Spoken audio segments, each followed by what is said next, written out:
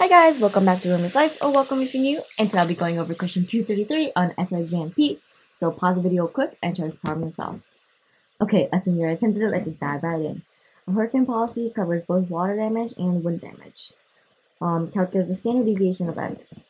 So if we're looking for um, standard deviation of x, we have to find the marginal density of x, which you know we know is just 0 to 1, 0 to infinity, because um, y is greater than 0.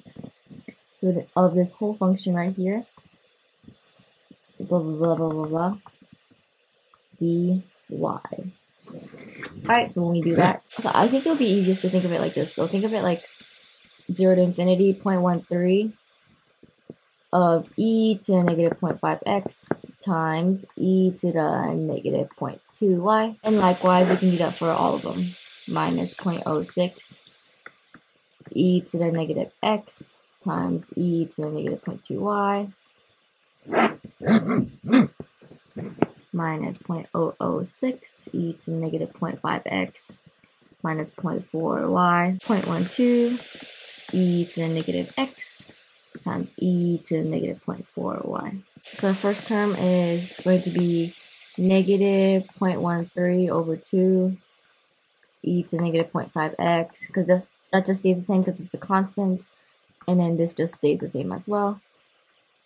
Minus 0.06 divided by negative 0.2 this just stays the constant constant and then the second part is just stay the same too. 0.006 divided by um, 0.4 e to negative 0.5x e to negative 0.4y and this is the last one 0.12 divided by negative 0.4, e to the negative x, e to the negative 0.4y.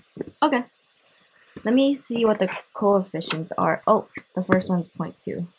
So the first one is 0.65, e to the negative 0.5x, um, e to the negative 0.2y, plus, oh wait, my bad, this one should be 0.06. So this is equal to 0.3 e to negative x e to negative 0.2y plus 0.15 e to negative 0.5x e to negative 0.4y 0.3 e to negative x e to negative 0.4y and again we're actually evaluating this from 0 to infinity right? Can't forget that part. So when we evaluate this from 0 to infinity and we're plugging the infinity in for y y. Okay so then you know that e to the negative 0.2y that's same same thing as saying e to the negative 0.2y here. And when you when the denominator gets bigger and bigger and bigger, it'll just approach zero. So this will just be, be zero. Second term is zero, zero, zero, minus when we plug in zero for this one, um, this term goes to um, 1, so you're, you're left with 0.65 e to negative 0.5 x same thing, this term goes to um, 0, I mean 1, and then we're, since we're subtracting, this will be a negative term right here too.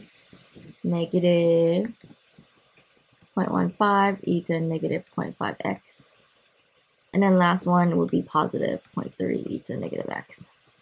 So these two actually cancel out. Oh wait, I lost the negative sign here. So this should be negative, so this should be positive. So this will be equal to 0.5 e to the 5x well, hey, this is just the exponential distribution, right? Where lambda is equal to 0.5. In exp exponential distribution, standard, de standard deviation is just 1 over lambda. In our case, it will be 1 over 0.5, which is just 2. Which is our answer B. If you guys have any questions, feel free to leave them down below. Otherwise, as always, make sure you like, subscribe, and share. Bye!